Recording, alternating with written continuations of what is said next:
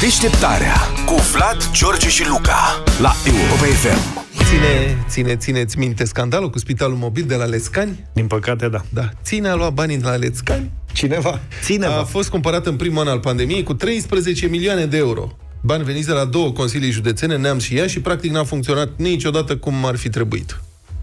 Mai mult a stat închis. Achiziții cu cântec, echipamente nepotrivite, lipsuri mari, am vorbit mereu la Republica Fantastică atunci despre spitalul ăsta. În container era afară, era cu, erau grade cu minus în unele zile, în iarna respectivă. La orice ploaie se inunda tot, spații impracticabile pentru transportul pacienților, mă rog, o bătaie cumplită de joc și de bani publici. Asta mai mult închis, cum spuneam. Firește, au fost declanșate anchete și procese pentru recuperarea prejudiciului. Inspectorii de la Camera de Conturi Iași au constatat o sumedenie de nereguli, au făcut o anchetă, au dat o amendă de niște zeci de mii de lei și un prejudiciu de, au stabilit un prejudiciu de 64,9 milioane de lei cei care câștigaseră contractul pentru construcția spitalului mobil, o companie Euronest, au contestat în instanță decizia. Așa cum există acest drept în România, accesul la justiție este liber, au contestat. Asta se întâmplă în 2020. Dosarul s-a trambalat pe la Suceava și Iași în diferite faze de judecate. Euronest a pierdut în prima fază, părea bun de plată, dar lovitură de teatru.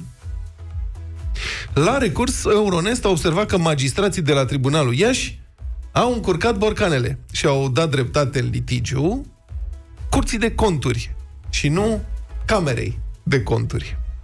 Și deși diferența pare subtilă, ce mi-e curtea, ce mi-e camera, nu? În fapt, uh-huh. sunt două entități diferite. Adică, camerele de conturi sunt în fiecare județ. Curtea de conturi e numai una, la București.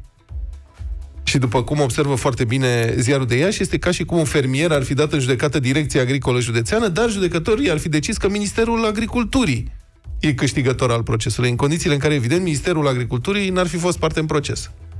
Deci judecătorii au dat dreptate cuiva care nici măcar nu era parte în proces, Curtea de Conturi. Dintr-o eroare de... Dintr-o eroare. S-a făcut, o lucrare, s-a făcut o lucrare ca lumea acolo. Da, nu știu, uite, Zav crede că a fost o lucrare. Luca zice că a fost o eroare. Mă așteptam să fie invers. Da.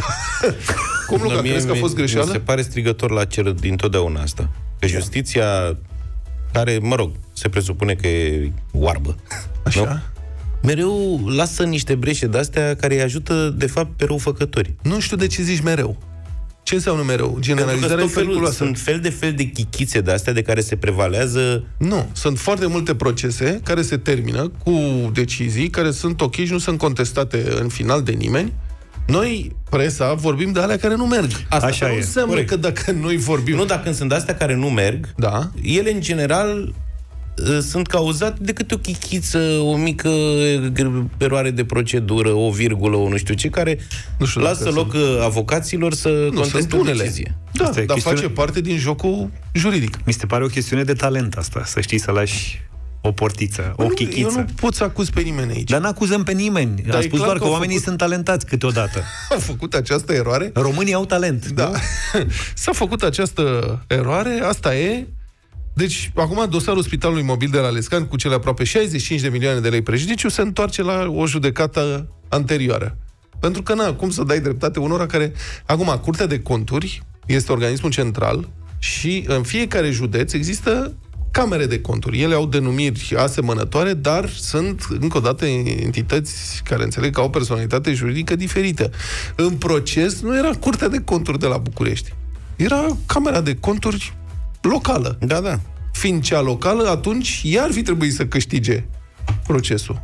Aici este eroarea și, în mod evident, n-ai ce să reproșezi. Deci, Asta păi, deci zici eu, că e o chichiță? Nu e o chichiță. Eu din ce mare. înțeleg, da. e că eu te dau pe tine în judecată da. și, și lasă și judecătorul spune a câștigat... Zaf. Uh, nu, a câștigat Nu, Suzana, nu, nu, atenție. Că ea e șefa. În loc să zic a câștigat Luca Pastia, zice a câștigat Lucian Pastia. Și ăla, opa, stai puțin și nu Lucian Corect. Pastia. Dar procesul a fost între noi doi. Da. Și e doar o eroare de... Da. Da? Păi, și tu care, și eu care vor să am fost dat în judecată, nu spun, pă, prietene, a câștigat altul, nu tu.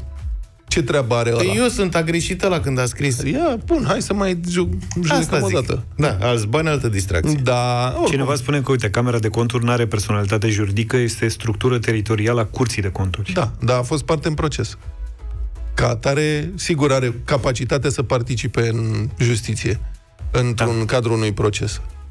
Da. Asta e. Deci eu zic că dacă mai ține un pic inflația asta, alea 65 de milioane de lei noi, o să devină 65 de milioane de lei vechi. Da.